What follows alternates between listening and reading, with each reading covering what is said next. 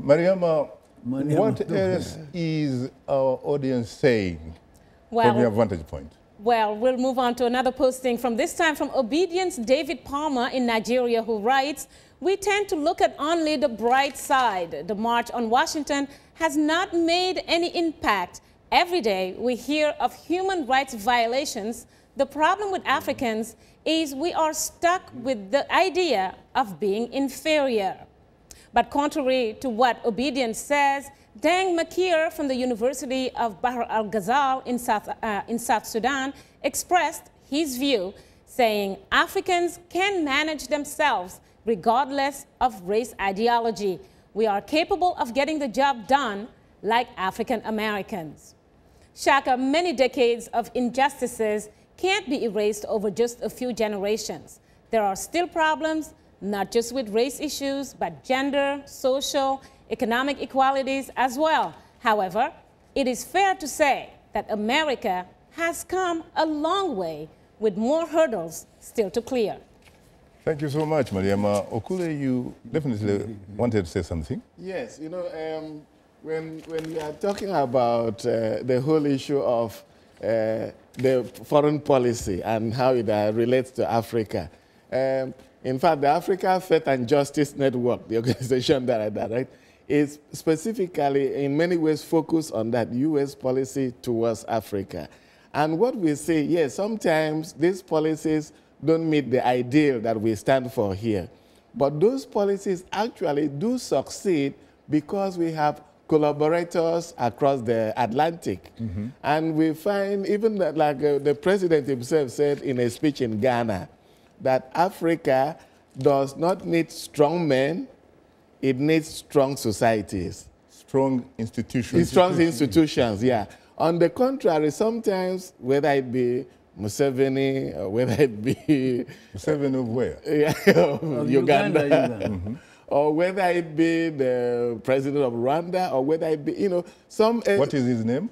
Kagame, you know. Major General Paul Kagame. Yes, you know. So you find key elements of people who do our bidding for us here, meaning in the U.S., that we allow them free hand in what they are doing, uh, contradicting our own stand about the issues. So it is now, I, I strongly believe that the issue of governance have to, has to be transferred from the different presidential policies to the people.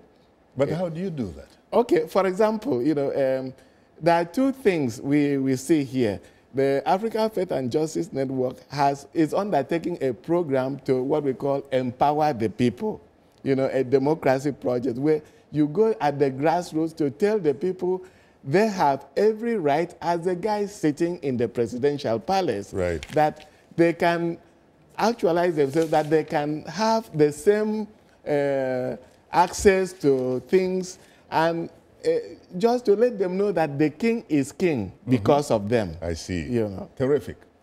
Thanks, Mariama, for bringing us this week's audience reaction.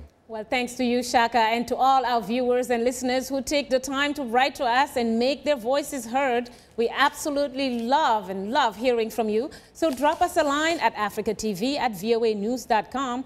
Once again, for our radio listeners, our email address is africatv at voanews.com. Or post your comment on our Facebook page. Just enter the keywords Straight Talk Africa. Be sure to visit us online at voaafrica.com or you can join our YouTube channel. Just subscribe to VOA TV to Africa.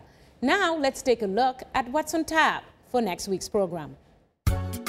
Next week on Straight Talk Africa, we look at Ghana. The West African nation's Supreme Court is set to rule on an opposition challenge to last December's presidential election that was won by incumbent John Mahama. The outcome could have big implications for the nation, where investor excitement over its strong economy is rising as the country's GDP is expected to grow by 8% this year. Opposition leader Nana Akufo-Addo is challenging the outcome of the poll claiming Mahama's slim 50.7% victory was tarnished by voter irregularities.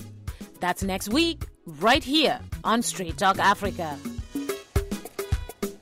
Well, that was, of course, my colleague uh, Mariama Diallo, a descendant of uh, Othman dan Fodio, the revolutionary reformer of the great Fulani kingdoms in West Africa.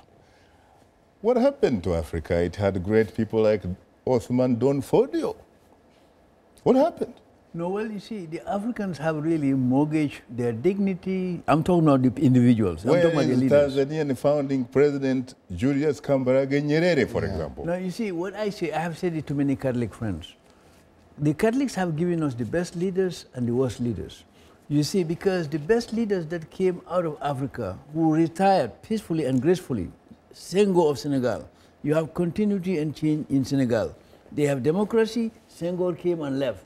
Then you have Julius Nyerere from East Africa. Unfortunately, we have many of these people, they overstay their plum. I have written positively about Mugabe of Zimbabwe,